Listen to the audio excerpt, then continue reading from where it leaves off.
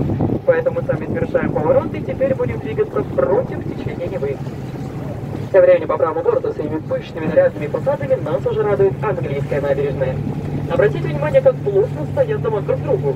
Это было связано с тем, что Петр I приказывал строить сплошную фасадою, дабы экономить место на берегах Невы, а всеми главными, пышными, торжественными фасадами обращать непременно к воде.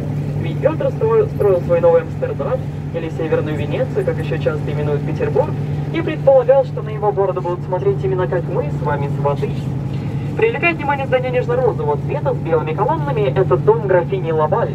Ее дочь вышла замуж за очень непростого человека по фамилии Трубецкой. Он был зачинщиком декабристского движения. В этом здании и происходили собрания декабристов, прежде Вон чем они вышли на восстание на Сенатскую площадь, чем собой уже перед нами распахнулся. Сенатская площадь уникальна тем, как необычно решены ее границы. Ближне к нам является здание желтого цвета с белыми колоннами, оно как бы скруглено к площади.